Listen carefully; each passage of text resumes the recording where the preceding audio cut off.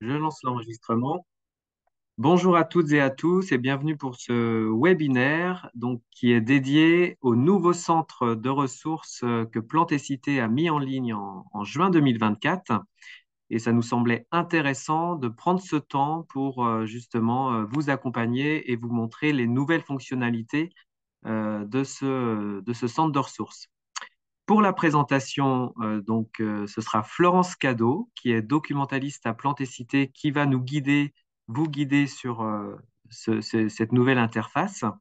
Euh, donc, je ne vais pas prendre beaucoup plus de temps et transmettre directement la parole à Florence pour une trentaine, quarantaine de minutes. Et on reprendra vos questions euh, à l'issue des présentations. Florence, je te laisse la main. Ben, bonjour à tous, donc, ravi de vous faire cette présentation aujourd'hui. alors, donc, je vais euh, commencer cette présentation pour euh, vous donner quelques éléments euh, sur le contexte du projet. donc, ce travail s'est basé sur deux enquêtes utilisateurs. Donc, la première qui a été menée en 2016 et puis la deuxième en 2022. Donc, c'était questionnaire et puis ensuite des entretiens qualitatifs. Alors, même si le travail, le, la, satisfaction était, euh, était plutôt bonne. On a repéré des pistes d'amélioration. Donc, les grands objectifs de cette refonte ont été, dans un premier temps, de valoriser euh, toutes les productions de cités. Euh, voilà, puisque le, le fonds documentaire bah, grandit, donc c'était important de les, de les repérer quand même facilement. Deuxième objectif, celui de faciliter l'accès aux ressources disponibles immédiatement. Donc tout ce qui est téléchargement et, euh, euh, disponible en ligne, c'était important aussi de le repérer euh, plus facilement. Et puis bien sûr, améliorer la recherche toujours, et puis toujours aussi améliorer les services aux adhérents. Donc ça, c'était notre quatre, nos quatre grands objectifs. de là, on a découlé des décisions importantes pour nous, qui étaient d'utiliser un outil métier, donc un logiciel documentaire, et donc de ce fait de dissocier le site institutionnel du centre de ressources. Vous, avez les deux URL euh, euh, en, dessous. Euh, à droite, je vous ai mis un petit peu le panel, on va dire, voilà, des adhérents. donc voilà, pour vous donner un peu une idée de la, palette des métiers et puis peut-être des usages aussi divers dans, les recherches documentaires et puis dans le contenu aussi du, du fonds documentaire. Voilà. Alors, ensuite, voilà, autre, euh, autre élément du projet. Donc, euh, l'équipe était formée de, de, six personnes en interne. Donc, Jérôme Bébin pour la partie système d'information et interopérabilité. Mathilde Elie pour la partie coordination et projet web. Aurore Mican pour la partie charte graphique et puis collection plantécité. Ludovic pour la partie communication et base de données des adhérents, Baptiste pour la partie ressources et projets plantécité, et moi-même pour la coordination générale du centre de ressources en particulier, et tout ce qui est restructuration des données. Euh, donc, deux plateformes, donc deux hum, prestataires, donc Empreinte Digitale et puis Kentika pour la partie logiciel documentaire. C'est de l'autofinancement. Et puis pour les étapes du projet, bah, donc du coup, on a commencé euh, en 2022 avec les utilisateurs. On a publié là en juin 2024. Et puis, bah, bien sûr, ça, continue, euh, ça continuera, puisqu'on est toujours dans un processus d'amélioration. Et puis, euh, c'est une base euh, vivante. alors, au programme de ce webinaire, je vais vous proposer de naviguer dans ces deux plateformes. Ensuite, de rechercher dans le centre de ressources, d'utiliser les nouvelles fonctionnalités. et puis, je vous proposerai quelques astuces de recherche. Et puis, enfin, on verra les, les, grandes perspectives euh, liées au centre de ressources. Alors, on va tout de suite aller, euh, sans plus attendre, sur le, sur le site. Voilà, on, va naviguer entre les, enfin, voilà, sur, les, sur les deux plateformes. Euh, que, ce que je voulais vous dire ici, donc là, on est sur le site institutionnel. Je voulais d'abord commencer à vous parler de ce qui n'a pas changé. On n'a pas tout révolutionné, on n'a pas tout réorganisé. Euh, euh, ce qui restait important euh, pour nous et en fait ce que vous recherchez le plus souvent, c'est tout ce qui est actualité et événements. Donc, c'est ce qui est sur la première, sur la page d'accueil du site institutionnel. Vous retrouvez dans cette première partie. La deuxième partie qui a un bloc dédié, c'est tout ce qui concerne les ressources et donc vous accédez directement ici par ce bouton. Et puis troisième chose importante, ce sont les projets. Donc vous les retrouvez sur la page d'accueil. Donc ça, c'était important. Et puis, ce qui n'a pas changé non plus, c'est euh, les, euh, les projets. La base des projets euh, est restée sur le site institutionnel. Vous conservez toujours donc le moteur avec les fiches descriptives des projets. Et si je vais chercher un projet qui est terminé et donc il y a des ressources, là voilà, je suis à nouveau sur la fiche descriptive du projet. Et euh, donc voilà, à la place de la liste des ressources qu'on avait à droite, nous avons ici un bouton et qui nous emmène vers le centre de ressources. Et là, en fait, vous tombez sur les résultats, donc les quatre, les quatre qui concernent le, ce projet. Inversement, donc du coup, pour vous indiquer les, liens toujours qu'il y a entre, entre projet et ressources, on revient ici. Donc là, je suis sur une fiche euh, descriptive de la ressource. Et là, vous voyez ici, on a projet, on a un rebond vers son projet. Donc, on a toujours des liens. Donc ça, ça n'a pas changé. On a toujours des liens entre le projet et les ressources et inversement. Euh, ensuite, ce qui n'a pas changé non plus, euh, c'est l'accès. Donc, si je reviens à mes ressources, euh, c'est aussi le... Donc, toutes les, toutes les, euh, toutes les ressources sont disponibles à tous les, à tous les internautes. Donc, ça, c'était déjà le cas avant. et si je, si je viens sur une ressource, euh, on a toujours un son descriptif et puis euh, la composition, donc une fiche descriptive, euh, peut comporter plusieurs ressources. Donc là, on les retrouve non pas sur le côté, mais en, bas, parce que ça peut arriver qu'on ait beaucoup de ressources dans une fiche. Donc ça, la structure d'une fiche n'a pas, changé. Ce qui n'a pas changé non plus, le, ce sont les modes d'accès aux ressources. Donc ici, vous avez accédé, c'est-à-dire que si, euh, si c'est en téléchargement ou si c'est directement en ligne, voilà, vous pouvez, euh, euh, vous pouvez cliquer directement sur accéder. Deuxième modalité que vous connaissez aussi, c'est demander la copie. Donc, on a toujours ce deuxième accès aux, ressources voilà, n'a pas changé. Vous faisiez déjà des demandes de copie. Là, ça n'a pas changé. C'est juste que à la place, si j'avais euh, un, article ici, à la place d'accéder, vous avez demandé la copie et vous accédez à un formulaire de, demande. Autre euh, euh, troisième modalité d'accès, c'est acquérir, acquérir hors plantécité. donc ici, cette notice, je pourrais être sur un document qui est plutôt un, livre ou un rapport qui n'est pas disponible en format numérique. Euh, mais, euh, et qu'on ne pourrait pas vous prêter. Euh, donc, ce qu'on fait, on vous envoie vers un lien éditeur donc, qui vous laisse la possibilité ensuite de soit de l'acheter ou de l'emprunter dans une bibliothèque. Donc ça, ça n'a pas changé, ça existait déjà, c'est juste un peu le, visuel qui, qui, qui, change. Et justement, en parlant de visuel, là, je vais passer plutôt sur ce qui a changé. Euh, et donc, en effet, une des premières choses, c'est plutôt le graphisme euh, et, le visuel et l'organisation un petit peu euh, des, fiches. donc voilà, vous avez vu le site institutionnel plutôt sur une, composante bleue et le centre de ressources, une, composante orangée. En termes visuels aussi, ce qui a changé, c'est qu'on a intégré les, les pages de couverture des documents. Pareil, pour mieux identifier euh, les documents, parfois on connaît, euh, on, voilà, on connaît la, page de couverture de documents et donc c'est plus facile à, identifier. Autre, euh, autre nouveauté, donc en étant sur ici le centre de ressources, on a une page d'accueil qui est dédiée au centre de ressources.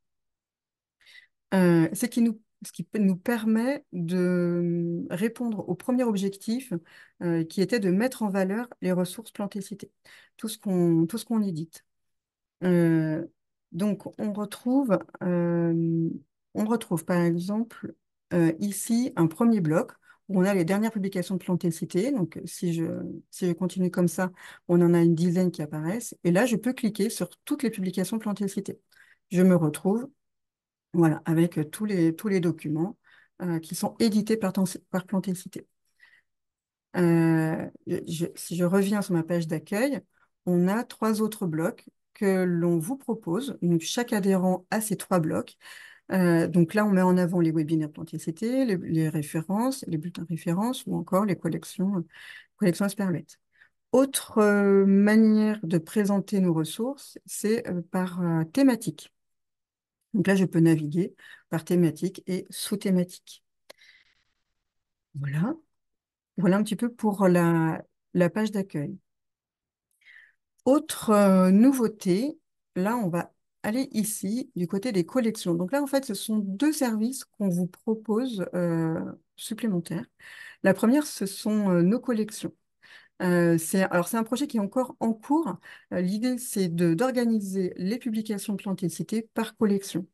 donc, celle qu'on connaît aujourd'hui, c'est la collection Esperluette, et, et puis les bulletins, de, les bulletins références. On vous a mis aussi ici euh, tous les bulletins spéciaux, euh, donc thématiques qu'on a pu éditer depuis 2009 à Plantécité. Vous les retrouvez aussi euh, voilà, selon une, collection.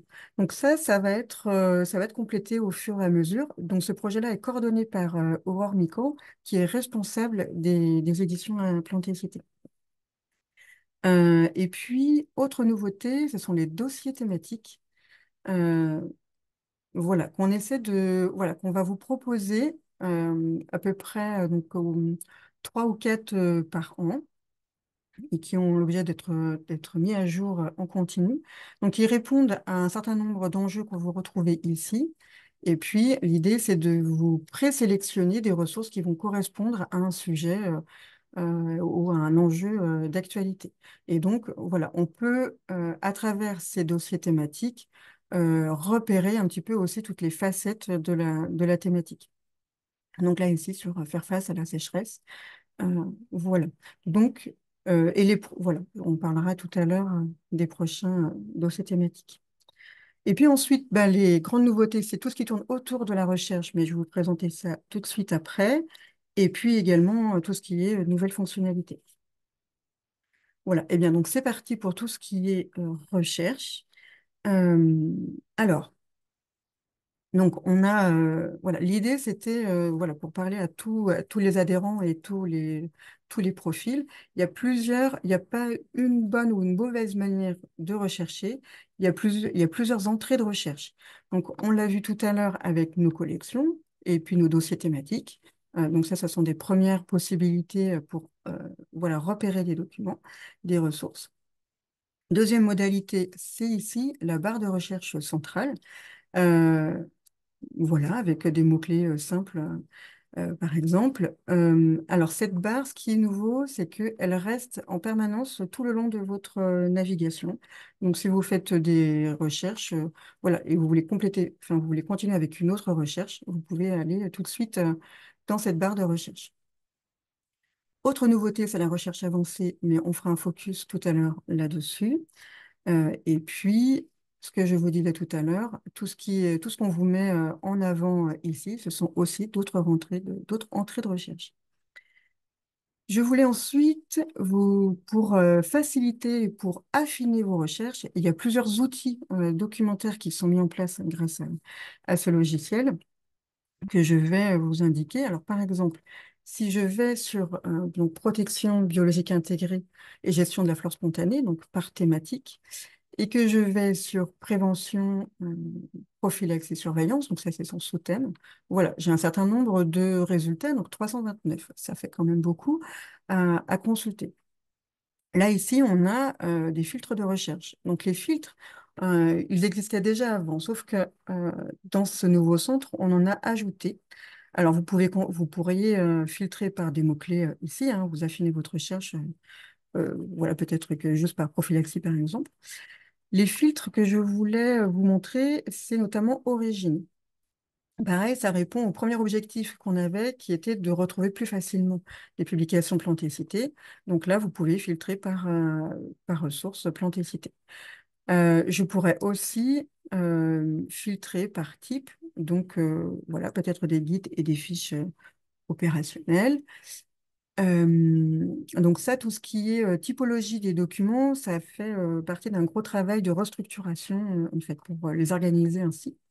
Et puis aussi, l'autre filtre que je voulais vous montrer en particulier, c'est accès. Là, ici, en ligne, ça répond à la deuxième, au deuxième objectif qui était de trouver plus rapidement les documents qui sont disponibles en téléchargement ou directement sur le web.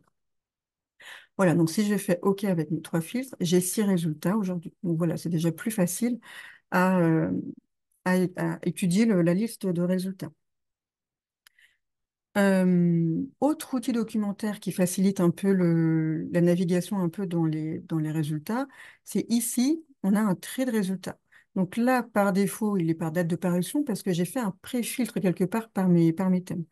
Mais sinon, euh, vous pourriez, on pourrait se dire, euh, je filtre par, euh, par les derniers, derniers documents ajoutés. Ça ne change pas grand-chose parce qu'ici, j'ai que six résultats. Voilà. Mais par défaut, si vous faites une recherche ici dans la barre centrale, par défaut, le, le trait de résultat sera par pertinence.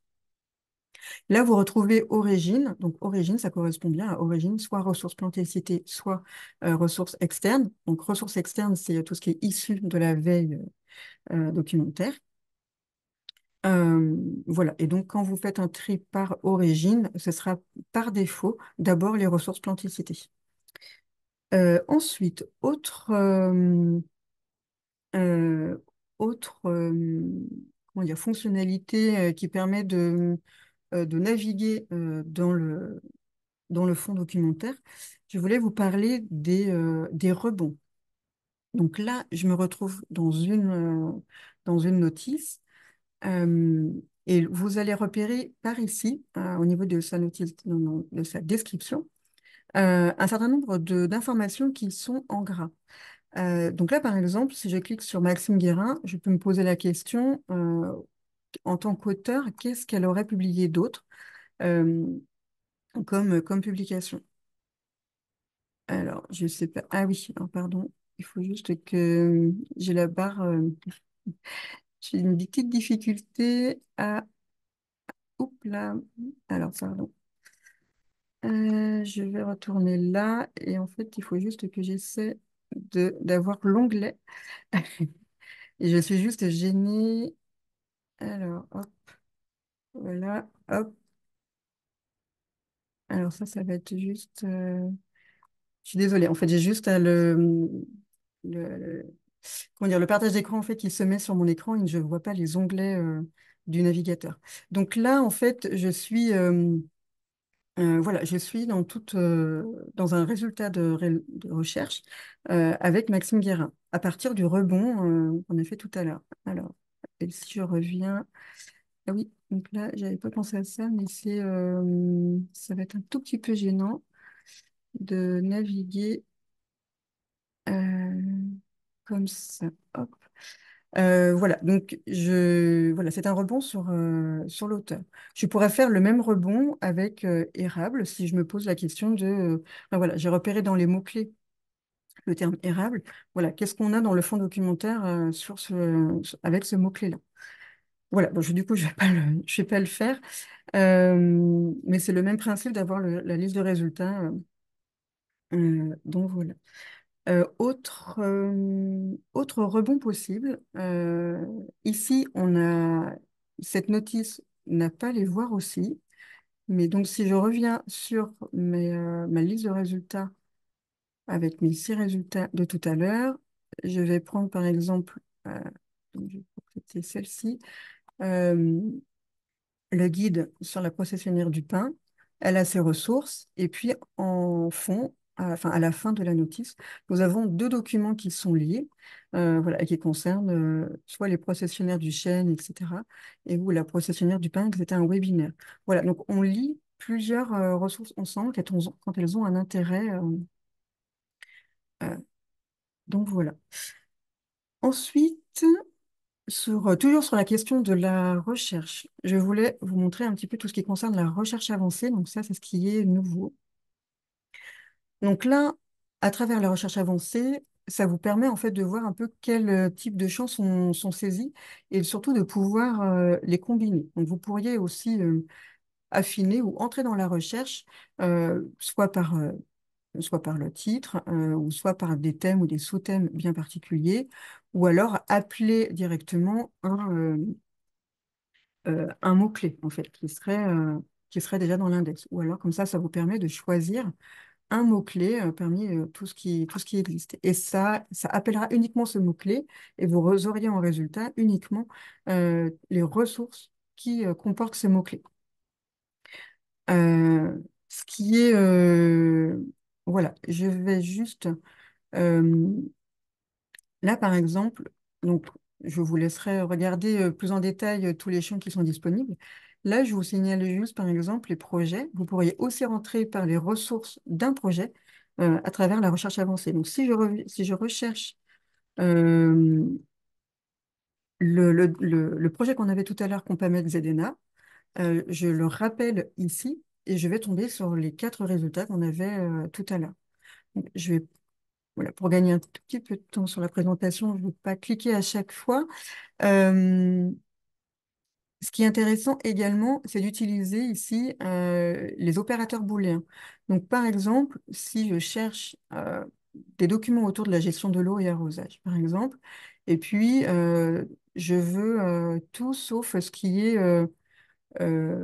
de la revue Le Lien Horticole, par exemple. Donc là, je clique sur ces boutons-là, donc une deuxième fois pour avoir le sauf. Voilà, je connais bien ce que fait le lien horticole, donc euh, voilà, je voudrais savoir ce qui se fait d'autre dans d'autres sources. Voilà, je l'appelle comme ça. Donc là, du coup, je vais rechercher et je vais tomber sur une liste de résultats.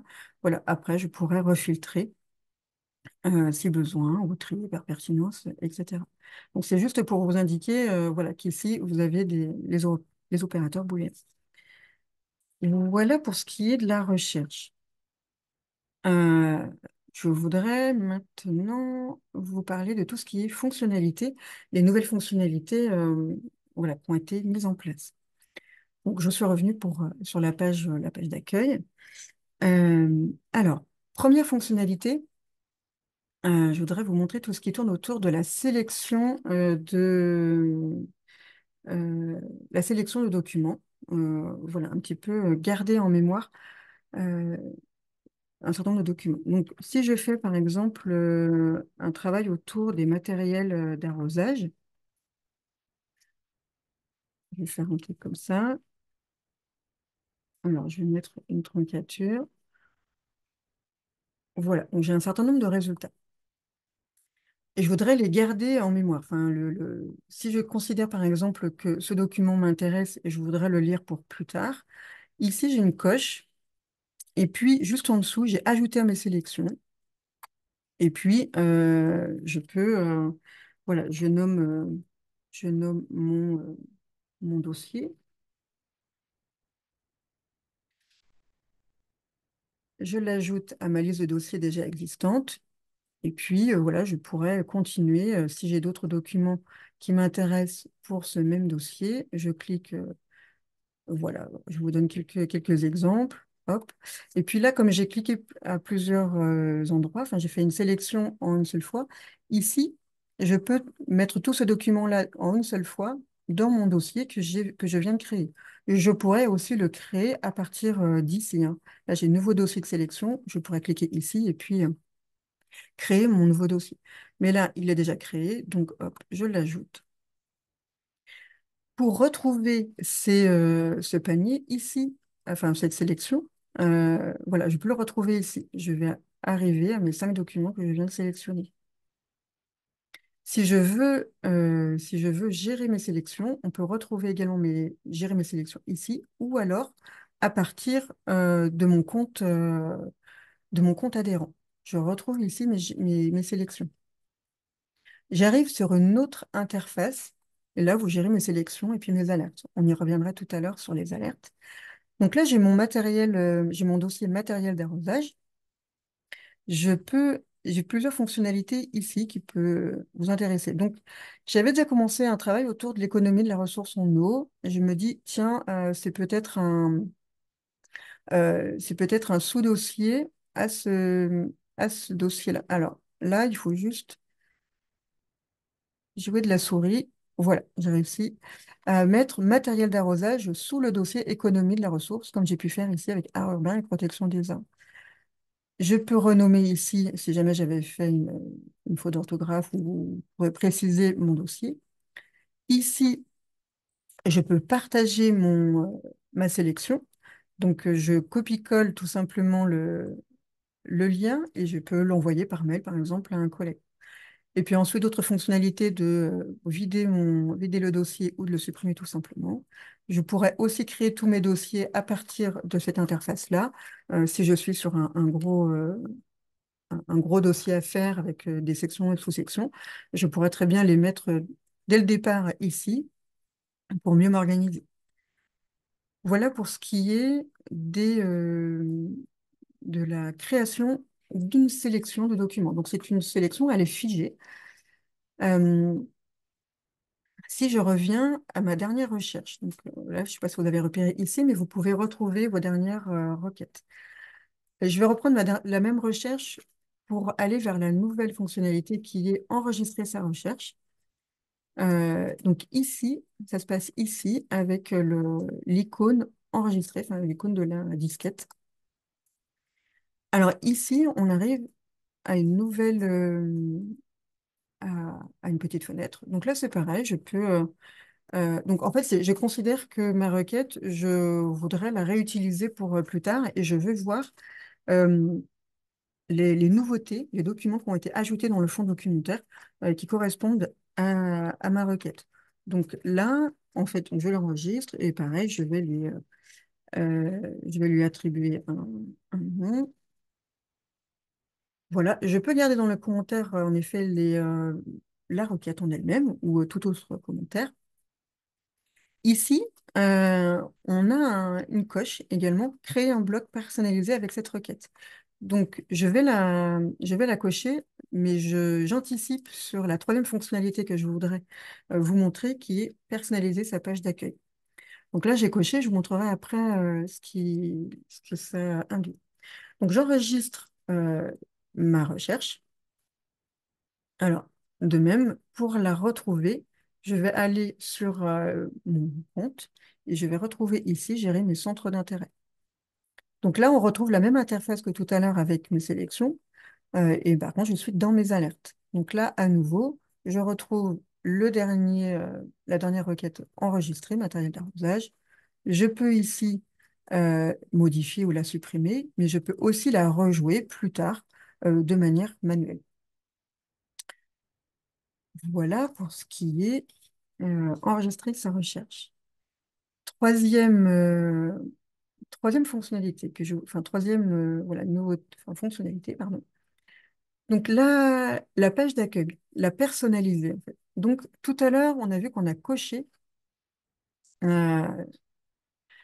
pour, pour pour avoir un bloc personnalisé qui correspond à la recherche que vient d'enregistrer. Euh, donc, vous voyez, voyez qu'un nouveau bloc s'est euh, intégré à votre page, page d'accueil. Donc, c'est une manière euh, de, le, de le faire. Si, voilà, si vous n'aviez pas coché cette case au moment où vous enregistrez votre recherche, vous pouvez ajouter un bloc ici. Donc, vous pouvez le faire à partir de la page d'accueil. Là, ici, vous rappelez euh, ce que vous avez déjà euh, mis euh, dans votre compte personnel, donc soit une recherche enregistrée. Donc là, on vient de le faire avec le dernier bloc mis sur la page, ou alors peut-être qu'ici, on pourrait mettre, on pourrait rappeler la dernière sélection qu'on vient de faire.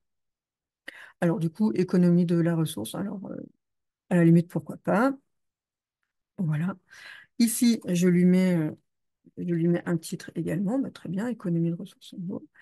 Euh, la présentation, il faut aussi que je lui dise quel type de présentation je lui mettre. moi, j'ai une préférence pour lire le document avec image. Euh, et si euh, vous souhaitez en effet connaître les dernières mises à jour par rapport à ce qu'on saisit dans le fond documentaire. Là, ici, il faudrait ajouter, il faudrait indiquer dans les paramétrages date, euh, date d'ajout. Hop, voilà. Et là, nous avons, un deuxième bloc personnalisé qui, euh, s'affiche. Si euh, toutefois vous aviez fait, enfin, si vous voulez revenir sur les réglages, vous pouvez revenir ici et vous revenez sur les réglages, tout simplement, vous reparamétrez votre bloc personnalisé. vous pourriez aussi euh, par exemple, donc là, on a, on a rappelé sur la page d'accueil soit une, soit une, euh, donc une recherche enregistrée, soit une sélection, mais vous pourriez aussi appeler, euh, par exemple, par type de document, voilà, les ouvrages qui sont les derniers ouvrages que Plantécité a, a ajoutés. Donc là, la même présentation, n'est pas très originale, je mets avec image. Euh, alors pareil, soit par date de parution ou date d'ajout, mais je vais dire des dates de parution. Je vais faire OK. Et voilà, j'ai un troisième bloc qui s'affiche. Euh, voilà. Euh, voilà, et donc je peux naviguer. et puis je peux aller ici sur les 155 résultats de, de la requête. Voilà pour ce qui est personnaliser sa page d'accueil.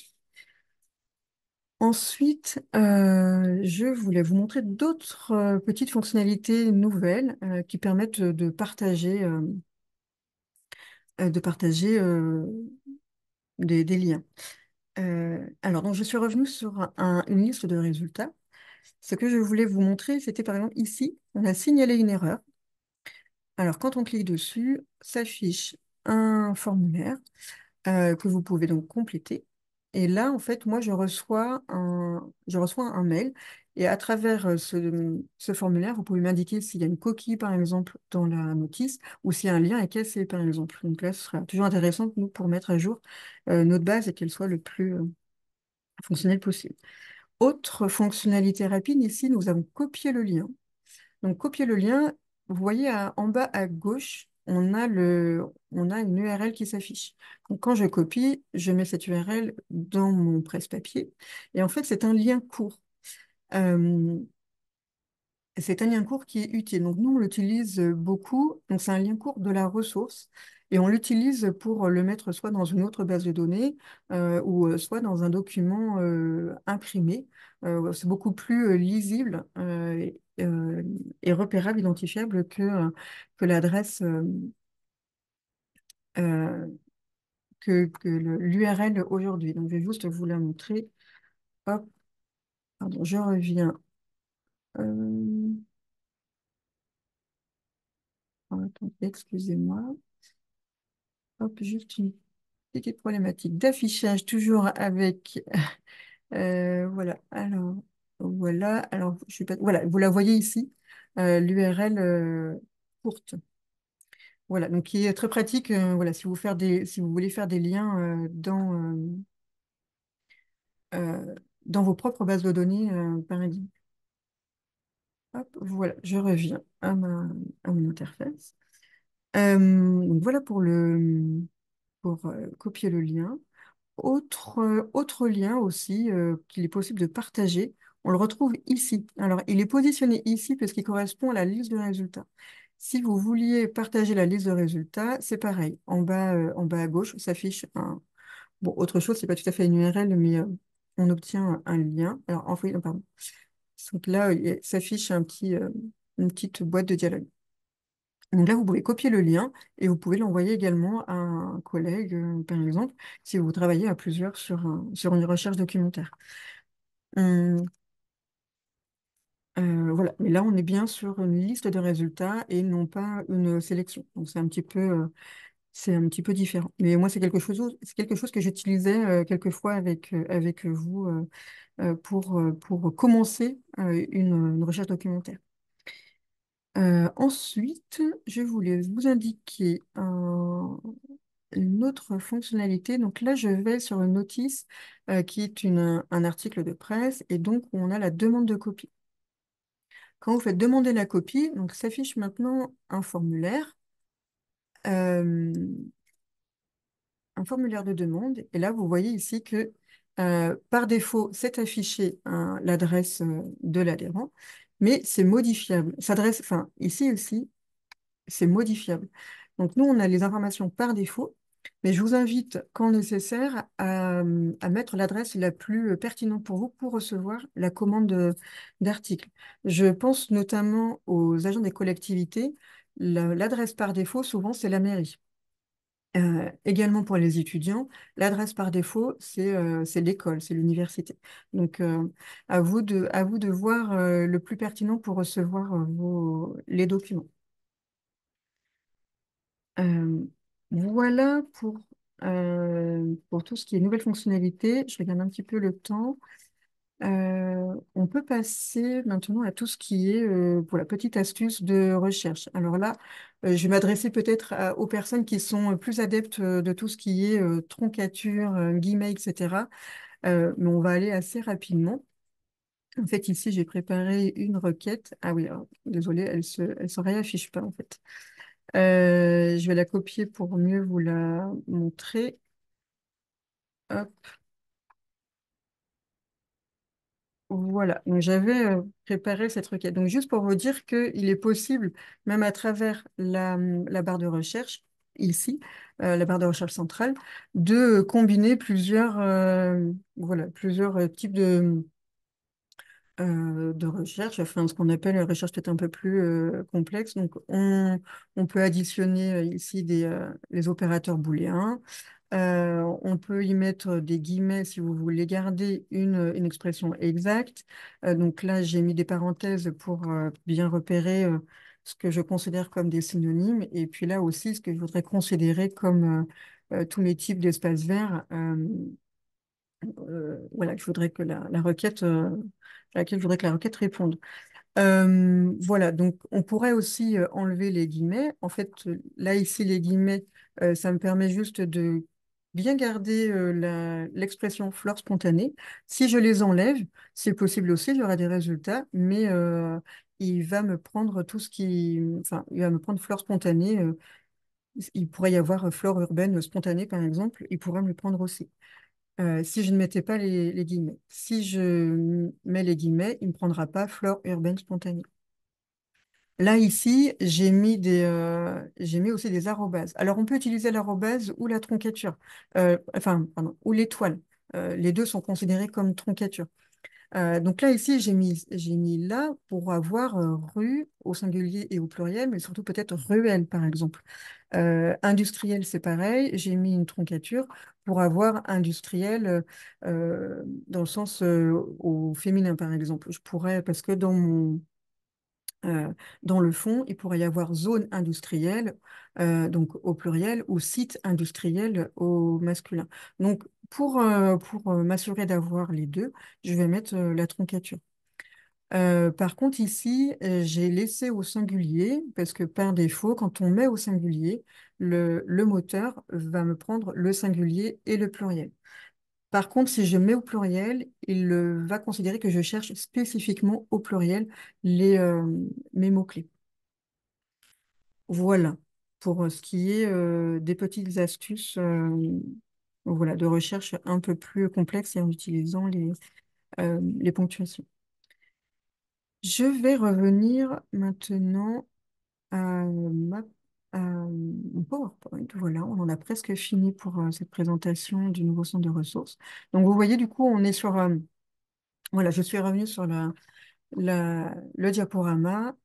Euh, voilà, donc c'est lui qui sera disponible pour compléter, qui sera disponible sur le centre de ressources pour compléter ce webinaire. Alors, voilà, je, vous voulais vous dire aussi quelques mots sur les perspectives euh, du centre de ressources et puis les, travaux euh, qu'on va continuer euh, pour, à la fois en termes de services et, et d'amélioration du, voilà, du centre de ressources. donc, je vous parlais des dossiers thématiques. Donc, juste pour vous dire les, deux nouveaux qui vont, sur lesquels on est en train de travailler. Donc, la deuxième partie, en fait, de protéger les arbres urbains, de la plantation à la gestion. Deuxième sujet sur la santé mentale et les espaces de nature. Et puis, euh, donc voilà pour les dossiers thématiques. Pour ce qui concerne euh, voilà, un autre gros euh, dossier plus, plus technique ou économique aussi, concerne les copies numériques. Là, l'idée, en fait, ce serait ben, de, de, vous proposer euh, des documents plus enfin, accessibles plus rapidement. Euh, et ça concerne notamment tout ce qui est euh, presse spécialisée et donc vous évitez d'avoir à demander des copies d'articles que je vous envoie par votre, par votre postal. Donc là, on a tout un travail à faire avec les éditeurs. C'est soumis à leur autorisation pour qu'on puisse mettre des PDF de leurs articles dans notre base de données. Et puis, c'est soumis aussi au tarif qu'on aura à négocier. Donc, on sait d'avance que toutes les copies, euh, enfin, tous les articles aujourd'hui qui sont en format papier, euh, on ne pourra pas tous les mettre euh, dans la base. Donc voilà, donc le service de, demande de copie existera toujours, mais on va essayer de, de le limiter un petit peu. Troisième autre gros projet qui nous attend, et ça c'est un dossier un petit peu au long cours, si je peux dire, c'est tout ce qui est un peu correction, structuration des mots-clés, puisque aujourd'hui en fait on a en restructurant la base, en fait, on est passé de deux bases à une seule, ce qui nous permet de mieux gérer euh, les mots-clés euh, et puis euh, les corriger, parce qu'en fait, on avait un logiciel avant, par exemple, qui ne prenait pas en compte les accents. donc là, on va pouvoir remettre tous les accents. Et puis, on a pu repérer aussi que bah, selon une base, on mettait le mot au singulier et puis dans l'autre base, le mot au pluriel. Donc là, on va pouvoir homogénéiser tout ça. Et puis, on pourra aussi continuer à les structurer, par exemple, en leur mettant des synonymes euh, ou euh, des termes associés, par exemple. Donc, vous pourriez rebondir aussi euh, sur, les mots-clés de manière plus voilà, peut-être plus exhaustive et puis euh, de manière plus, plus structurée. C'est le cas également pour les auteurs, les auteurs moraux. En fait, on peut pouvoir donner peut-être des alias. Euh, par exemple, l'OFB, par exemple, aujourd'hui, s'appelle OFB, mais elle s'appelait avant AFB. pareil aussi pour ARB de France, s'appelait avant Nature Paris. Donc, l'idée, ce serait de lier ces deux auteurs pour que quand on cherche OFB, on tombe sur OFB et AFB. Voilà pour les grands les, euh, les, euh, voilà, les grands projets euh, pour le centre de ressources. donc ce webinaire, c'est l'occasion également de vous parler des, des, bah, des, autres services de plantécité.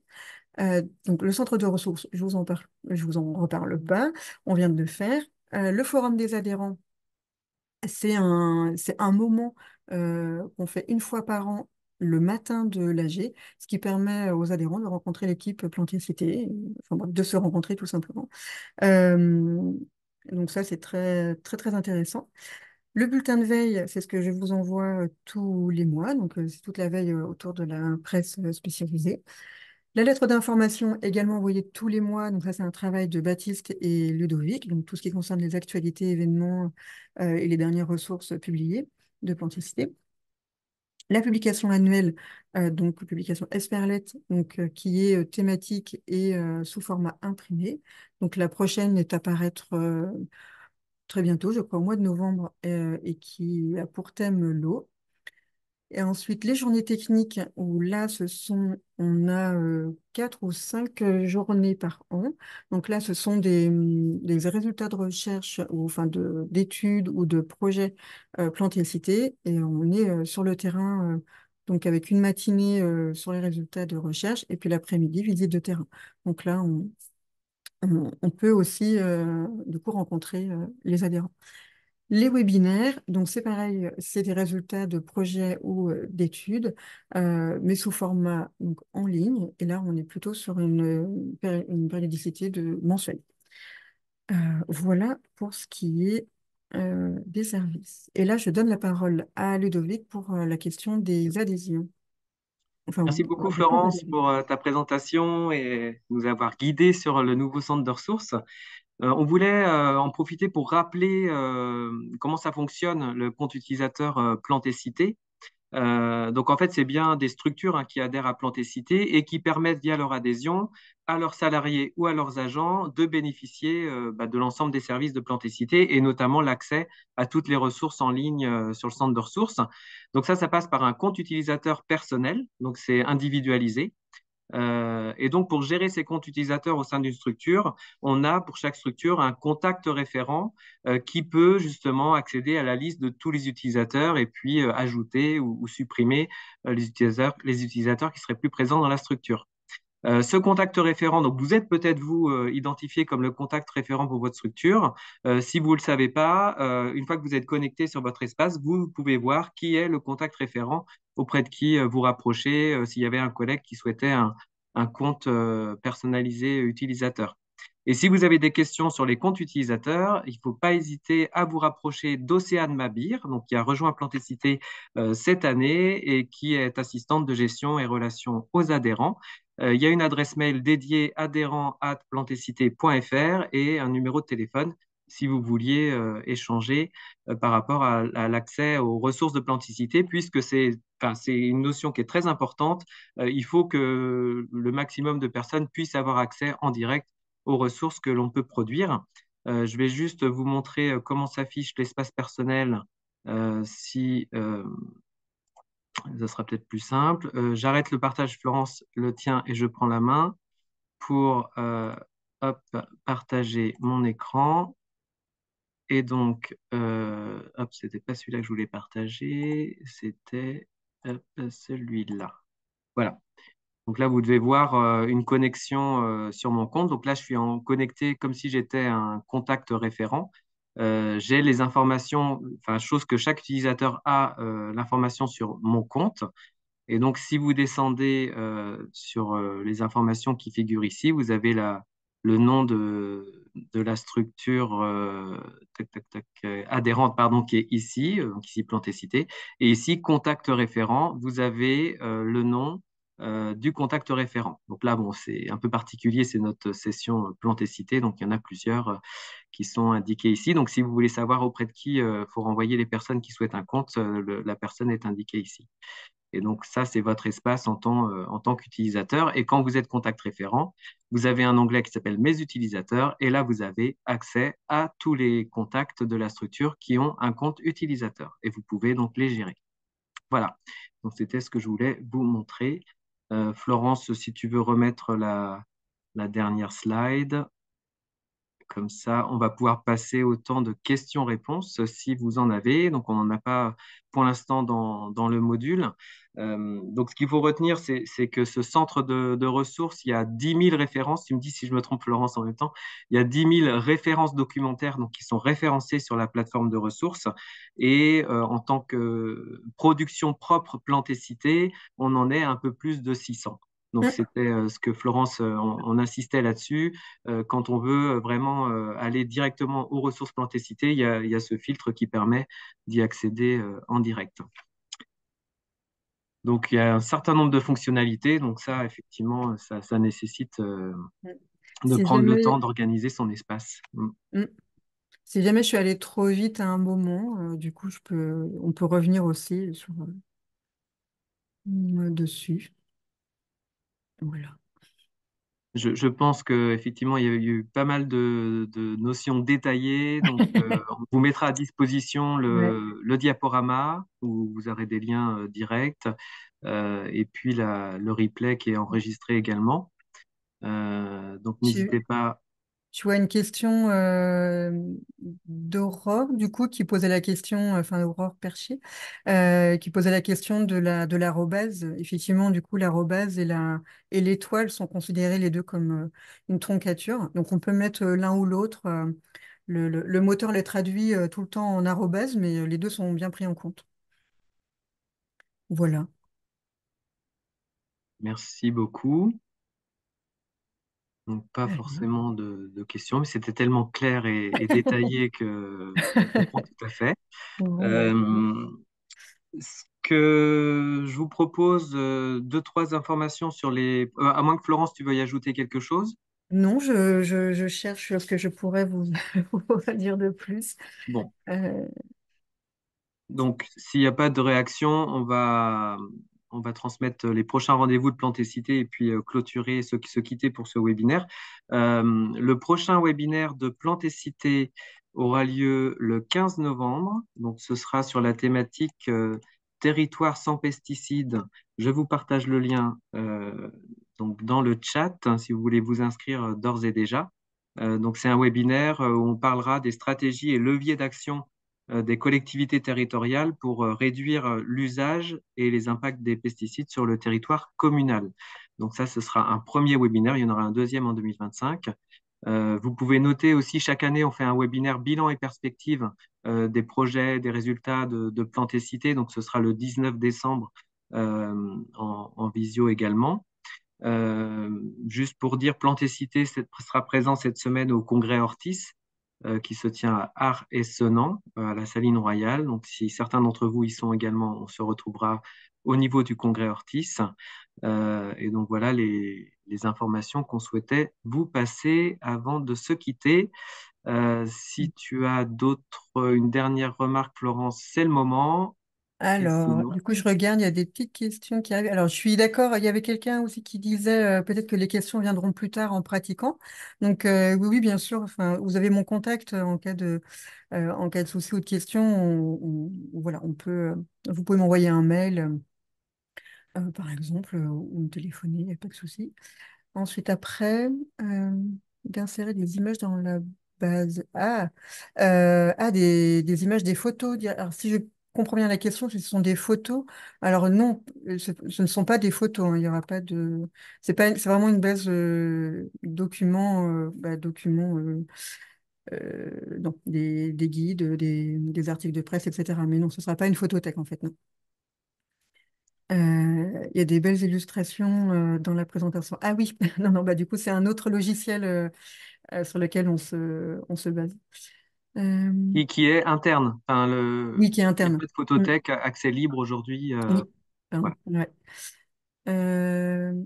pendant le salon du végétal, ça fait-il partie des ressources? Alors, c'est c'est possible, a priori. Alors, il faudrait que je demande à mon collègue, pardon, à la question de le PowerPoint présenté par Plantécité pendant le Salon du végétal sur la désimperméabilisation des sols fait-il partie des ressources accessibles en ligne?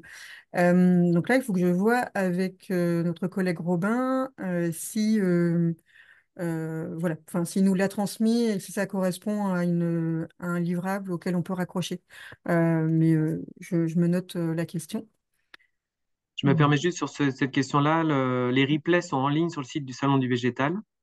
Ah oui. Euh, je pense qu'ils y sont. Euh, si ça faisait partie des conférences enregistrées, euh, je ne sais pas s'ils partagent le, diaporama par contre, mais vous pouvez aller retourner sur le site du Salon du Végétal. Mm. D'accord. Oui, ok.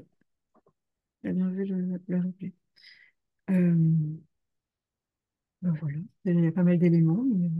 Voilà, bah, du coup, j'ai hâte d'avoir vos retours euh, suite à vos pratiques documentaires, en tout cas. Euh, voilà, puis en espérant que vous trouverez euh, vraiment bah, toutes, voilà, toutes les informations utiles. Après, il est toujours, voilà, il est toujours en amélioration, en amélioration continue. voilà. Merci beaucoup. Merci, merci, merci Florence pour ta présentation. Merci à vous d'avoir assisté à ce webinaire. Et on vous propose de, clôturer pour aujourd'hui, un peu plus tôt que midi, mais euh, on a fait le tour de la question. Euh, on vous dit à très bientôt lors du prochain webinaire ou sur les événements, euh, congrès et événements de la filière à venir. très bonne journée à toutes et à tous, bonne fin de semaine, enfin bonne semaine, et puis à bientôt. Merci à vous. Merci beaucoup. À bientôt. Au revoir.